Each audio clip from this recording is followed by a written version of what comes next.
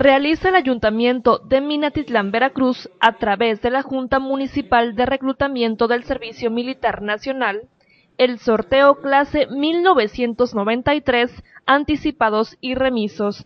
En este evento estuvieron presentes autoridades militares y municipales, siendo 851 el total de los jóvenes inscritos, 11 los anticipados y 364 los remisos de los cuales 597 son los conscriptos para comenzar su entrenamiento en la zona militar el próximo año. Aproximadamente es el 29% de los que se inscriben son los que quedaron con bola negra. Anticipados fueron 11 jóvenes y remisos 364. De la clase 93, 476 jóvenes que harán su servicio. Nosotros lo que sabemos es que los jóvenes se tendrán que presentar el primero de enero en la, en la zona militar. Ahí les darán las instrucciones de que, en qué va a consistir su servicio militar.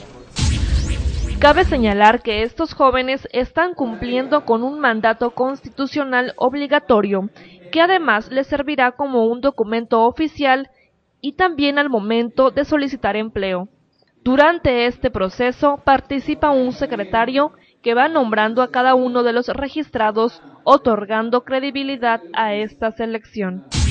A mí me toca mencionarlos y también dar fe de que este proceso se verifica junto con el, encargado de la zona militar de acuerdo a lo que establece el reglamento de la Junta Municipal de Reclutamiento y los dispositivos correspondientes de la ley militar.